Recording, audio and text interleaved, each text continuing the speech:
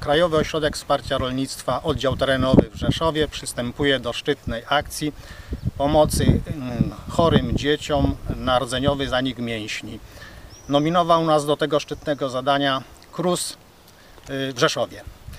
Przystępujemy do akcji.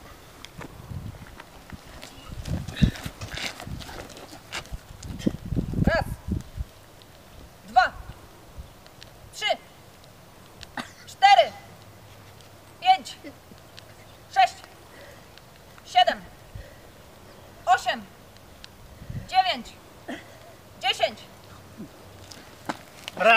Nominuję jako kolejnych e, do wykonania tego zadania Agencję Restrukturyzacji i Modernizacji Rolnictwa Oddział w Rzeszowie oraz Młodzież- Młodzieżowy Ośrodek Socjoterapii w Budziwoju.